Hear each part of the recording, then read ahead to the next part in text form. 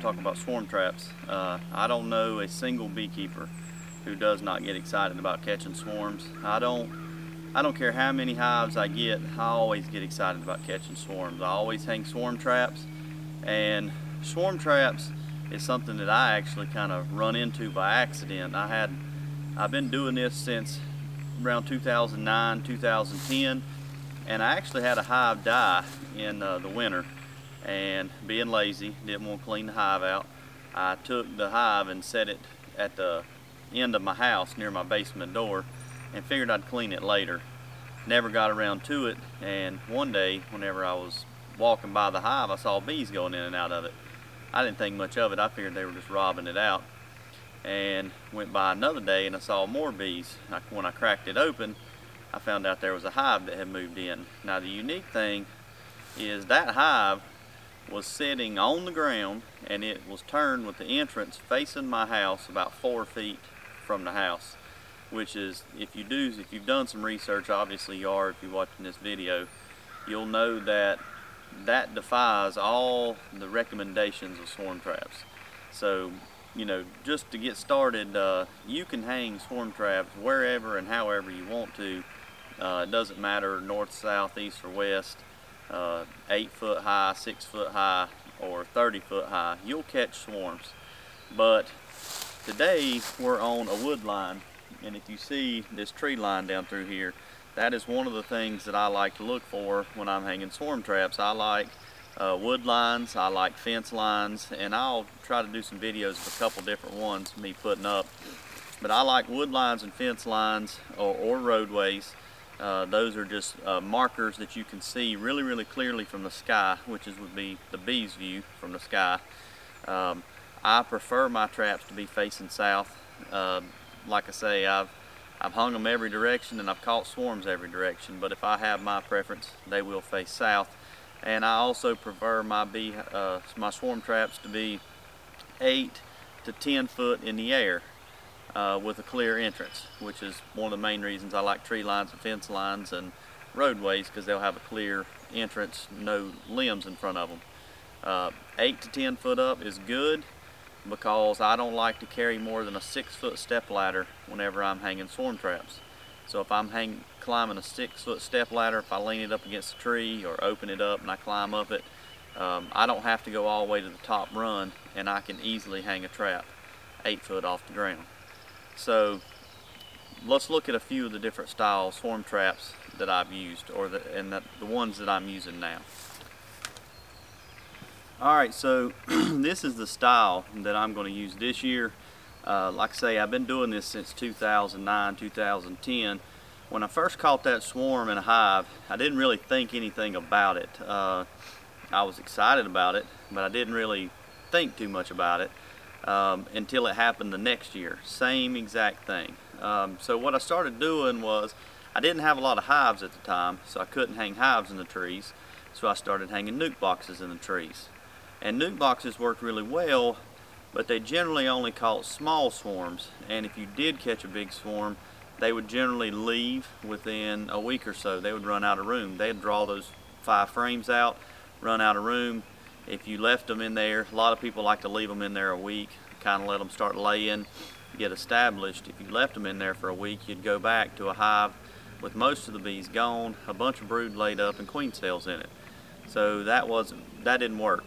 Um, so I built some more hives and I started hanging hives.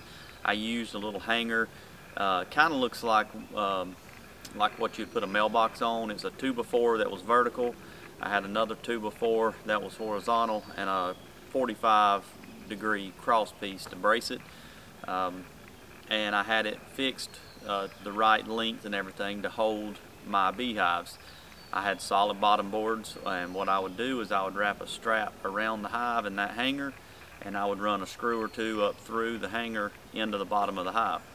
And those work really well as well. But the problem is beehives are expensive um, you set a beehive up on a tree, you're sitting 75 to 100 dollar bill up there on the tree and if you have them in places where people can see them which is nice because then people can let you know there's bees in them then those people can also come by and steal your beehives so I needed a better way to catch swarms and I needed a cheaper way to catch swarms. So I started doing some research on the internet, um, probably, I don't know, 2012 or so, and I come across actual swarm traps and there was people who had plans. And if you look at some of my past swarm trap videos, especially the ones from last year, you'll see the style that I used last year. I used those for a couple years. They worked pretty well. Um, the problem was the tops. I'll put some pictures in the video right here. Okay, so these those were the swarm traps that I used. And the problem was the plans that I used, and I'll put the link in the description, they call for political signs or coroplast for the lids. Well, I didn't do that. I cheaped out and I used paneling. Well, the problem with the paneling was it just really deteriorated quickly. Um, and so in 2016, I had a lot of success with those plans, uh, but it was a dry year. In 2017, we had a very, very wet year, and I had an awful time with my swarm traps bowing. Still caught a lot of swarms, but not like I would like to. So I went to this uh, this style. I got this style from Dr. Leo. I'll put a link to his uh, website in the description below. Um, I saw Dr. Leo in Rock Hill, South Carolina in the spring of 2017 and he's all natural treatment free guy but he also has some good plans on catching swarm traps and some uh, different hive plans, uh, Russian style hives and things like that. So um, I got these plans for him. They're a little bit different than his. I had some three-quarter plywood and some 7 8 plywood, uh, and I could not make mine exactly to his specifications, but I did the best that I could. Uh, and I, I, think mine are just a little bit narrower and maybe not quite as tall. Um, but as you see, it's a uh, it's a box. I'll put the, the plan description there for you so you can get all the dimensions. It's a box. The big thing is it has an actual top, a telescoping lid with aluminum flashing. Now, when you take the lid off, if you're going to put a telescoping lid on a swarm trap, then you're going to have to have some type of inner cover. Well, I didn't want to build an expensive inner cover, so I went with the uh, Mike Palmer Kirk Webster variety inner cover and I grabbed some old feed sacks from the chickens and cut those up and made feed sack inner covers. And inside this box, this swarm trap will actually hold six frames, which is a little bit bigger than the ones that I was using last year, uh, the 30 liter traps. Those swarm traps will only hold uh, five frames. And inside the swarm traps I have just a frame of comb and just some empty frames. So let's talk about baiting. How do you bait a swarm trap? Well, there's a bunch of different ways to bait a swarm trap. Dr. Leo uh, recommends buying propolis or using your own propolis and rubbing propolis inside the hive to make it smell like bees. Um, a lot of people recommend lemongrass oil. Some people recommend Swarm Commander. Uh, there's there's a lot of different ways. The old timers used to rub peach tree uh, leaves inside of them. Uh, the way I do it, I try to use old frames if I can because those old frames smell like bees. Um, I use one frame of old comb. Um, as you can see here, this is actually a frame. It's got a lot of drone comb on it, um, drone brood, and you know I don't didn't really want to melt it down, and uh, so and, and, I needed some bait for my swarm traps. So that's what I'm using here, just a frame of old comb. Um, I always put the comb in the middle. I I tried putting it on the ends one time when those swarms move in, they will go straight to the middle of the box and they will start building comb in the middle of the box. If you will put a piece of comb in the middle of the box, it gives them something to work, start working on immediately. The queen can start laying immediately and it gives them something to base the next pieces of comb off of. Um, I don't use starter strips in my in my boxes. I basically just use old frames. Um, old frames that I don't want to clean up. Sometimes they're broken and they're not really in the best condition but those are the best frames. Uh, you put those in the starter in the uh, in your uh, swarm traps because they've got the propolis on them. They smell like a beehive, so it's an attractant factor, and it gives me some use out of some old junk equipment that I normally wouldn't use. Um, as far as bait goes, I've used uh, I've used everything you can think of. Uh, the best thing that I have found if you're going to use lemongrass oil is you take a Q-tip and you dip it in the lemongrass oil. Rub it across two or three, the tops of two or three frames inside the box. Dip the Q-tip back in the lemongrass oil. Make a circle around the entrance with the lemongrass oil. Dip the Q-tip back in the lemongrass oil a third time and just drop it into the bottom of the hive. That has worked the best for me as far as lemongrass oil. Now, I don't think you need food grade lemongrass oil like some people recommend. Um, I go to Amazon and buy the Sun Essentials brand and you can get a pretty good sized bottle for like 12 or 13 dollars and it works fine. I've used lemongrass oil for years but last year um, I have another beekeeper who I helped get started catching swarm traps or catching swarms with swarm traps and he bought Swarm Commander and he made a believer out of me with Swarm Commander. Um, I swear I think you could spray Swarm Commander on a stick and throw it in your yard and bees would would cluster on that stick. It's that good. Um, I don't know what it is about it. So this year I bought some Swarm Commander and that's what I'm going to use this year. Is it required? No. Um, I, I, as far as swarms caught, you know, I had more swarm traps out uh, than he did, um, and I, I still caught plenty of swarms, um, but the, uh, the amount of attractiveness that swarm commander pulled to his boxes was just unbelievable. Um, and he caught some really big swarms, so I'm going to go with the swarm commander. And, and Swarm Commander you can buy it in these little spray bottles, which is really, really nice. You don't have to keep up with Q-tips and all that. Um, you can just spray, I think it says two to three sprays on your inner cover. I'm going to put it two to three sprays on my top on the top of my top bars because I don't have an inner cover and you can put one to two sprays at the entrance. Very, very simple. As far as hanging swarm traps go, um, I've hung them several different ways as well. Some people put them on, uh, on top of their tree stands. Um, like I said, I bought, I built some uh, hangers at one time and it was basically a two by four that sat like this and another two by four that sat about like this and then I had a 45 piece that went in between them and those worked really really well on this vertical piece I would put a uh, I would put me a screw through here and a couple down here below and it would it would hold very very well and then wrap it up um, I have also went to Lowe's um, or you can go to Home Depot or any hardware store and bought the uh, closet shelving brackets, the little 90 degree angle metal brackets. I've used those, nailed those in the tree.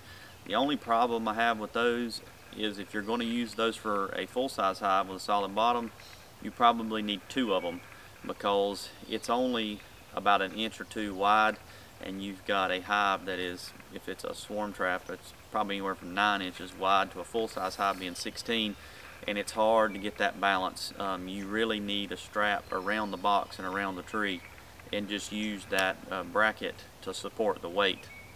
But you'll need to strap it really good. Um, but, but they do work. Oh, and I've also had the, the stick that goes up the back. You'll see those on some of my old videos. Um, and those work really good too. The key there, don't nail them. Um, if you're going to put a strip of wood up the back, that's a lot of weight on that swarm trap pulling forward and sometimes they will come loose.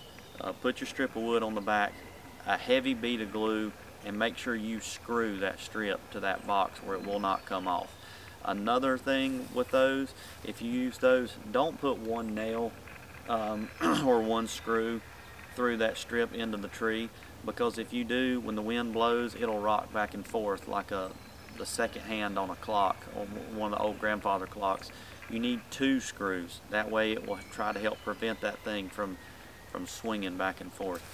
So those are some things that I've done in the past. They all work really, really great. But this year I have developed, or I haven't developed it, but this what I'm using is a French cleat style hanger. Um, I think they'll be a little bit easier as far as taking them off. Um, sometimes whenever you're setting those traps, it's kind of hard to reach up over the trap and, and run a screw. Um, through that little hanger when you're 10 foot up in the air. Um, and the little the little metal things, you know, sometimes it's hard if you're taking, or the wooden hangers for that matter, taking screws out of the bottom and unstrapping it, it's kind of hard to do. So the way this French cleat style hanger works is you, I took a, a two by four and if you take this two by four and divide it into, into four quadrants, I just took out one of the quadrants. Um, so it basically notched it out. I'd run it on a, on a table saw. I run it flat ways and made a groove along the bottom, then flipped it up and then made another groove and just cut this little notch out. Uh, took no time. I got five eight foot two by fours and made five um, uh, five sets of French cleats or 10 sets of French cleats. So you have this notch. What you do is um, this opening will face the tree. So say this is the tree or the fence post or the building or the light pole, whatever you decide to put these on. Um, it would be here. You put the, uh, you anchor the French cleat, the hanger part of the French cleat to the tree on this way. As you can see on the hive, the hive, you have the gap towards the hive. So it would be like this. So if the hive was on this side and the tree was on this side, you just set the, uh, the hive on that French cleat and it will and it'll hold it in place. Um, that's what I've done. You can make this out of some thinner wood, but I've really tried to build these swarm traps to where they'll last me for a long time because they take time to make, they take money to make, and it's kind of bad whenever you you spend a lot of time making them and you only get to use them for one year. So this is treated 2x4s and you could probably take some decking boards and do the same thing but I wanted something strong, I wanted something big and I wanted something that would last and treated 2x4s should last me for quite a while. So that's how I've made my French cleat hangers. So why do you, so you probably want to know uh, what makes a bee choose a swarm trap? Well, there's a couple different things. Um, other than the bait, uh, you have the comb in there, you know, that's nice. Uh, that's a good start. That's a head start to a hive, so that's a good lure. Um, the swarm commander pulls them in, but what makes them actually decide to move? Well, there's a couple key things that, that I've discovered over the years and um, that I've heard about and that I've studied about, and one of them is size. So when I talk about using uh, nuc boxes and I say that they catch small swarms, well, yeah, you can use a nuc box. There's a lot of people use nuc boxes to catch swarms, but they generally catch small swarms. Um, but then when you see people using 10 frame hives, yeah, people put a 10 frame hive in a box and they catch some small swarms too, but they also catch big swarms. So space is a big deal. Um, I think it's a lot bigger deal than people think. Dr. Leo talks about his ideal space, which is around, the, I think it, he says 40 to 60 liters, um, which is bigger than the 30 liter traps that I used to use, which is why that I went to his traps. I'm going to try them out. Um, and I think he's right. I think you need a cavity that is about the size of a 10 frame brood box. I think that's around the ideal size. You want that size um, so hanging a 10 frame hive would work, um, or any swarm trap that is basically the size of a 10 frame brood chamber. I think that is ideal. So that's number one. Space is, is number one. Um, another thing is no holes.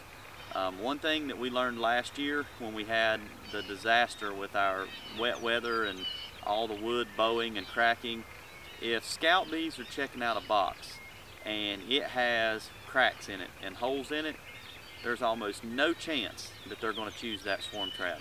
Uh, they'll mess with it for a day or two and then they'll never move in. So that was one of my big reasons for uh, doing what I did this year. I, I did uh, Dr. Leo's hives on when he tells you to take the, uh, the three pieces on the outside and put those together. Um, I did that and where those two, where the bottom is screwed to the sides, I used two and a half inch deck screws and a heavy bead of glue and glued and screwed that as tight as I could so it will not come loose. Um, I rabbited the tops for my frame rest to set in and then uh, whenever I put my face on, um, I, he calls for quarter inch plywood. I was able to get I believe half inch plywood for cheaper. It was either half inch or 3 eighths. One of the two I could get for cheaper. I bought that.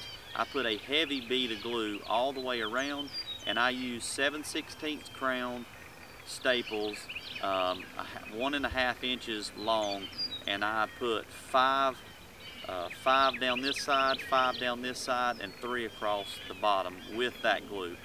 Um, so I sealed those boxes as good as I could possibly seal them, and then I put two coats of exterior paint on the outside.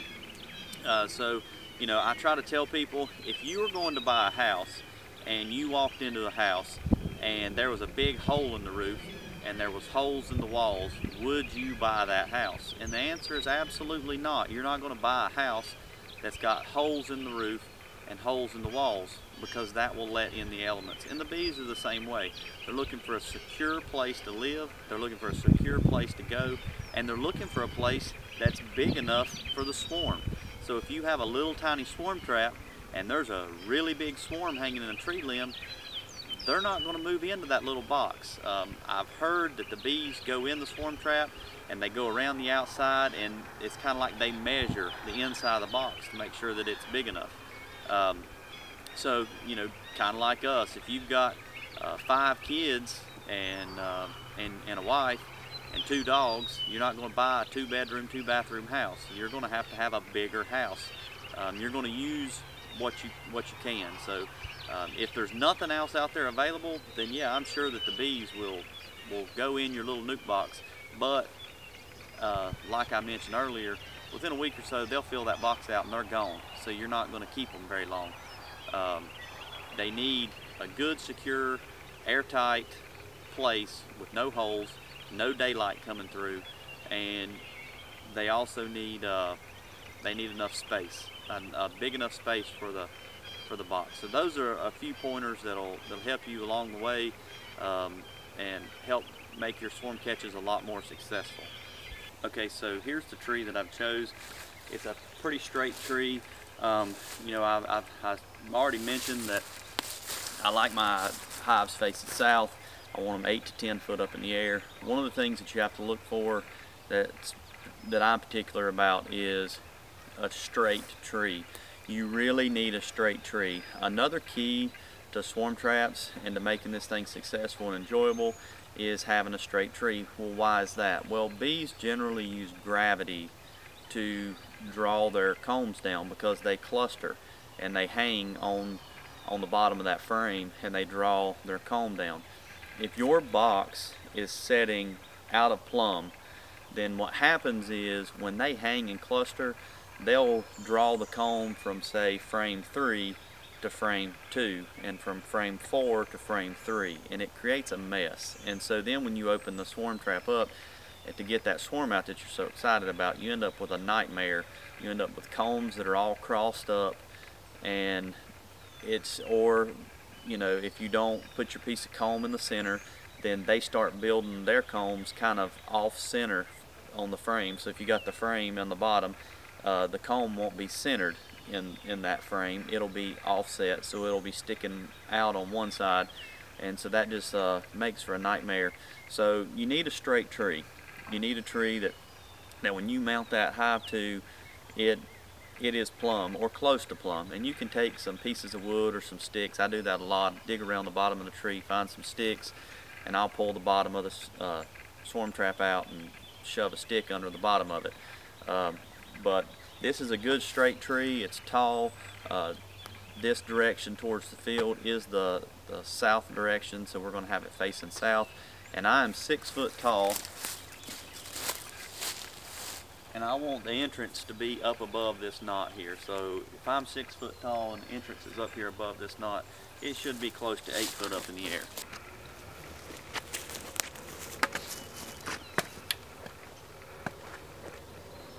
All right, so I've made a uh, made a mark on the tree here. So I've got my French cleat, as you can see. Here's the here's the notch. I'm gonna have it facing the tree, and I've got some screws here, some three-inch exterior exterior deck screws. I'm gonna screw this to the tree first here.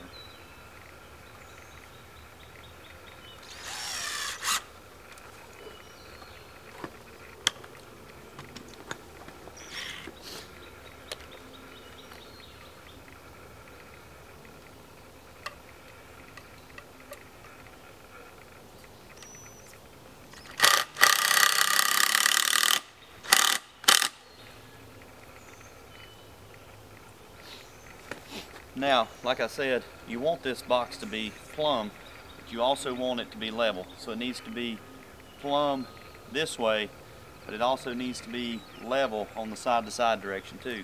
So in order to get it level, I'm gonna check this hanger with the level.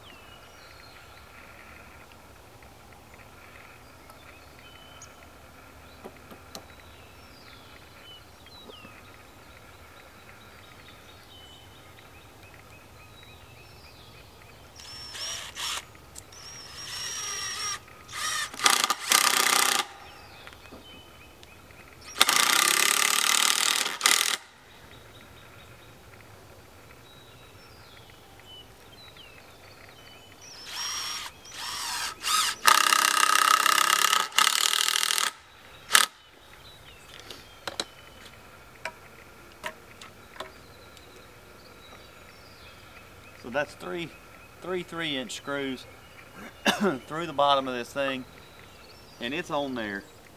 It's on there pretty good. It'll hold a swarm trap. All right, so let's bait the swarm trap here. Uh, I told you guys I'm going with Swarm Commander this year, so here's my bottle of Swarm Commander. We're gonna give it one, two sprays on the top bars, and that's it. More is not better when it comes to lure, okay?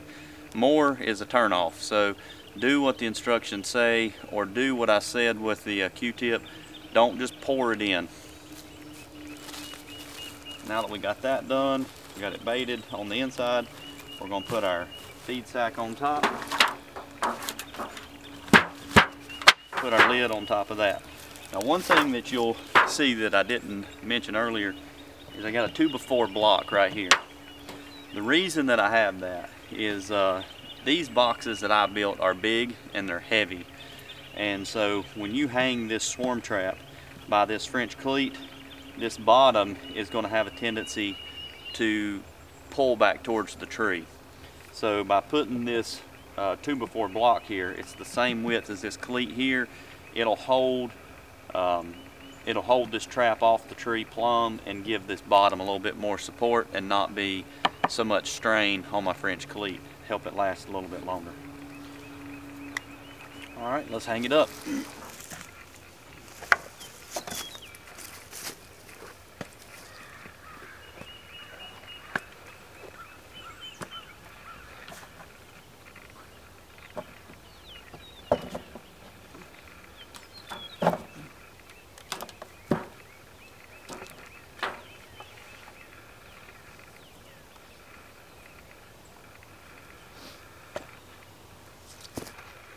Alright, so if you look at the swarm trap from this angle, it's it's pretty good and plumb. Um, French cleat isn't wanting to seat as well as I'd like for it to. And it's kind of hard to see, but on this tree there's a little bit of a bow and up towards the tree, um, up towards the top of the swarm trap, it's kind of bowing out, the tree is.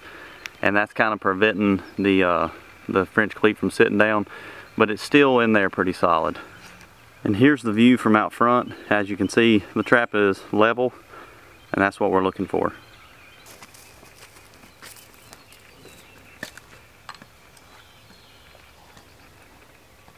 Now since I'm using a, uh, a telescoping lid and not a lid like my old plans where the lid is actually nailed down, this is a telescoping lid so it can blow off. The last thing I do is I use a ratchet strap to wrap a strap around the, the trap to hold the lid on. I used to put a rock on top of the lid, but that's kind of hard to do and find. And then I always, I'm always afraid somebody's going to be down here messing around near the trap and the rock's going to fall off and hit them in the head, which is, would not be good. So I just use ratchet straps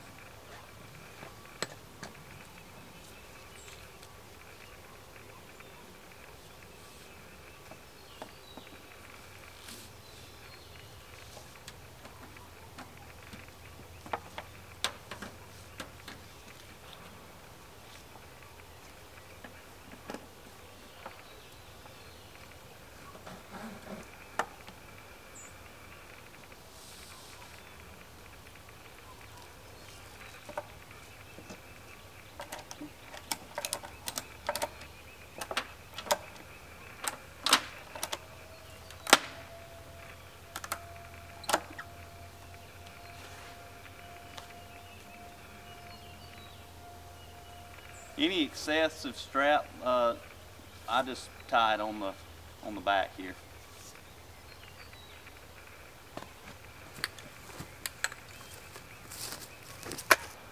And the last thing you do before you leave the swarm trap, you got to spray your bait or your lure on the entrance.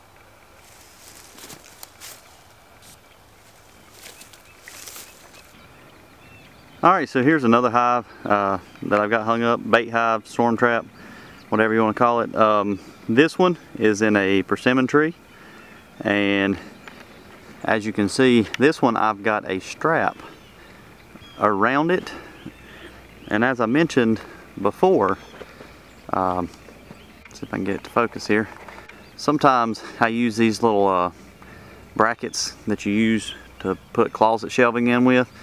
And I've just got that nailed to the tree. I've got the swarm trap sitting, whoop, fell in a hole. Got that swarm trap setting uh, on top of that box so that supports the weight. And then I've just got a strap wrapped around the tree and around the swarm trap to actually hold it in place keep it pulled tight.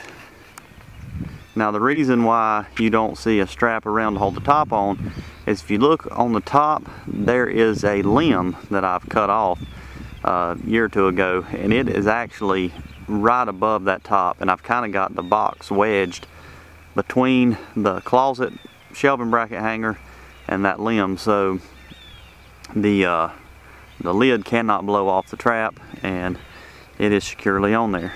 Now as far as location go, let's look at the location of this swarm trap. So the location of this swarm trap is right on a roadway. It's in my front yard. Um, you can see little pile of persimmon trees there and the swarm traps hanging in the persimmons. Right, right up that ditch line is my driveway and this is the, the road that I live on.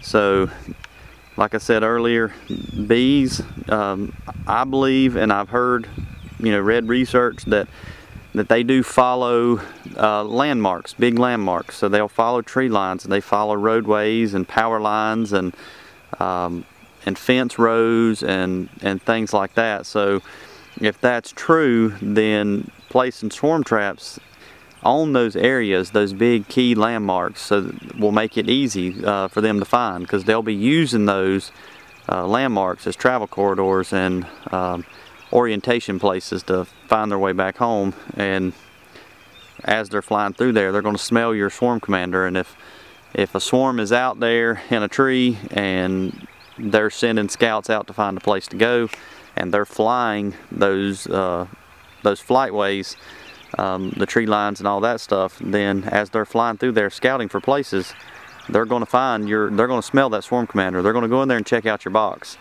and you're going to catch a swarm. Alright, so in my video, uh, Swarm and Swarm Trap late summer, um, I had a swarm trap in this maple tree right here.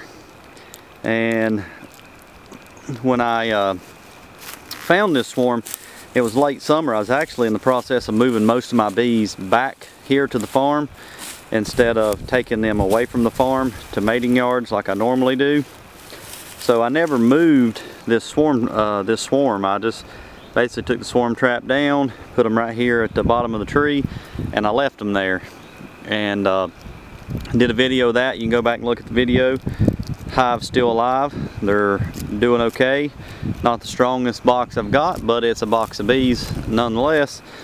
So one of the places I like to set swarm traps is a place where I've caught swarms before. Uh, quite frankly, that's probably the best place to hang swarms or hang swarm traps or bait hives. Uh, if you've caught uh, swarms there before, then generally you will catch them there again. A lot of times if I hang a bait hive or a swarm trap, whatever you want to call it, um, generally if I hang a, a, swarm trap in a spot and I catch an early swarm, I will take that uh, swarm trap down and move that hive over. The next day I will come back and I will hang another swarm trap in the exact same spot and a lot of times I will catch another swarm in the same tree. Um, I don't want to put the swarm trap in this exact tree because I still have this hive here and I don't know when I'm going to move it. So I'm just going to go right down there about, I don't know, 20 feet, maybe 30 feet and I'm going to put my swarm trap in that persimmon tree. Now I'll go over a little bit more of what you do um, after you catch swarm traps later on. Uh, I'll just wait until we actually catch one, then I'll do a video on that.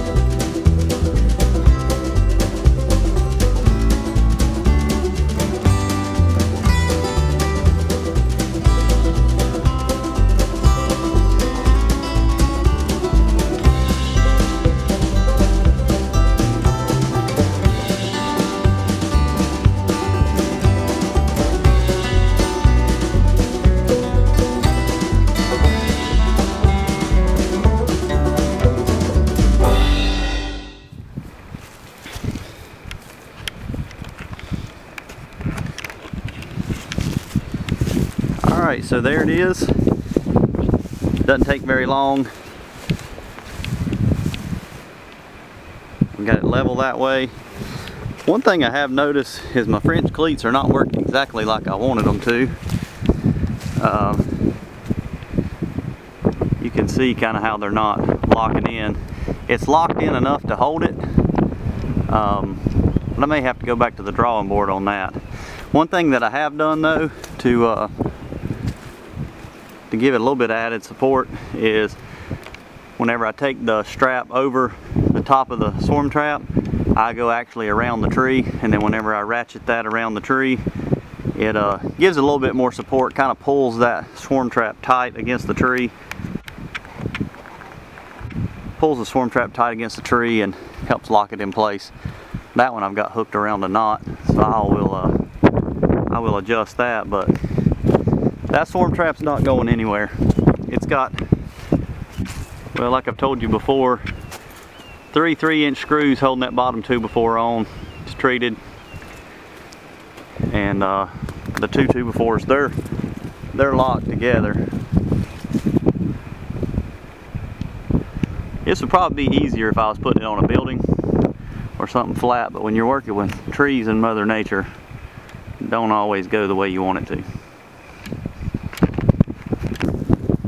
All right, very windy again. Uh, if you watched my video last year, Kelton caught his first swarm. I think that's the title of it. Uh, this is the tree right here. This is where we caught that swarm. That's where I'm gonna hang a swarm trap. Um, just for the record, the swarm that Kelton caught last year is still alive. I made a split from it yesterday, which is, would have been March 27th. So it's doing really, really well. If you look, we're on a fence row. So like I said, uh, I got a, I got one of my pastures is right here to my right. It's a nine acre pasture. To my left is about a 20 acre, it's winter wheat right now, but it'll be soybeans in the summer. So I got a big field on the left, a big field on the right, and about a 900 to 1,000 foot long fence that runs between the two. So the bees are gonna see that.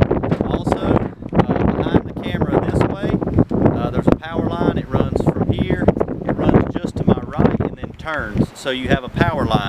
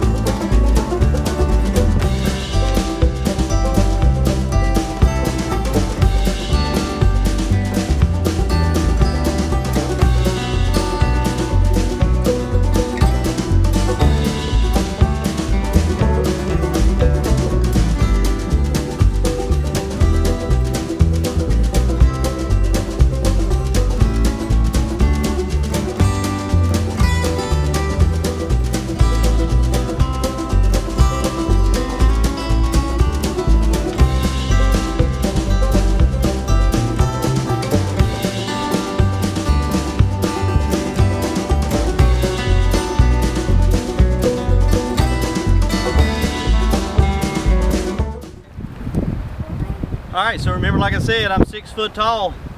How's that for uh, for swarm trap height? That's just like I hung it last year. Entrance is shoulder high, caught a great swarm. So, you know, take everything you say with a grain of salt. If you don't want to get up on a ladder, don't get up on a ladder. You can hang them low. Bees will still move in them. My first two swarms I caught with trap, well, they weren't traps, they were hives sitting on the ground. So, uh, this will work and that's pretty much it. Um, if you have any questions, uh, leave them in the description below. I'll try to answer them the best that I can. Uh, I went over uh, how I come about swarm traps, just stumbling across it by being too lazy to clean my own hives. Uh, how I started using nucs, moving to full-size hives. Then I went to the 30 liter trap. Again, uh, plans are in the description. Wonderful trap, great trap. You can make tons of those traps with, uh, with plywood. I just I would make sure I put a good lid on them. Uh, and then on to Dr. Leo's traps, which is I'm trying this year. One thing that I didn't go over though is the entrance hole. Uh, the entrance hole on the traps from the 30 liter trap are an inch and a quarter. Uh, Dr. Leo uses a slit. I believe it's a half inch by two inches. You can uh, look at that. Um, I like Dr. Leo's uh, entrance a lot better the uh, 30 liter trap they talk about the inch and a quarter hole the problem being that birds will fly in through it and you have to shoot a staple up through it or uh, staple a piece of wire across it to keep the birds out because they will get in it. Um, but Dr. Leo uses the slit. I was just not feeling like I wanted to put the dado blades on the table saw. So what I'm trying to do this year is another one of my exper uh, experiments is I'm just using a three quarter inch hole. And the reason why one, I don't think birds will be able to get in a three quarter inch hole. And two, it's just a lot smaller hole. And I feel like the bees will find that more secure. Now some people disagree with that. Some people say that they feel they'll feel like there's not enough room for them to go in and out of. But I have seen uh, one of the the last cutout or trap outs that I did uh, was in a center block garage and basically there was a small um, piece of the bed joint of a center block missing and the bees were going in and out of that bed joint and the bed joint on a block is not very big. Um, I've also seen bees going in the roofs of houses under a shingle that was uh, the, a nail uh, uh, roofing nail had just pushed the shingle up just enough where the bees could slide through there. Um, I've seen them go through little, uh, you know, uh, where a pipe or for ele uh, electronics or plumbing go into a building and they didn't get it all the way sealed up with great stuff foam or silicone. I've seen them go through that. So me personally, I don't think the bees are going to really care uh, whether or not that hole is an inch and a quarter or three quarters. If you look at my uh, my last swarm trap video, it was a uh, swarm swarm in a swarm trap late summer, and I talk about a swarm in July, let it fly, and we don't do that around here. Well, if you look on that one, uh, there was something on the on the entrance, and I couldn't figure out what it was. And basically, that inch and a three-quarter hole, the bees had just propolized it almost completely shut. They had, you know, just enough room for maybe two or three bees to get through, and that was it. So um, that's one of the things I know I forgot to mention, and I mentioned it here. Entrance hole, I'm using a three-quarter. I think Dr. Leo uses a half an inch wide by two inches, or it's a half inch tall by two inches long um, hole. That's what he likes. Uh, the old traps that I use, inch and inch and a quarter. That's what that's what they like. I'm gonna try three quarter inches, but uh, if you have any questions, like I say, comments in the put some comments below, and I'll do the best I can to answer them. And good luck.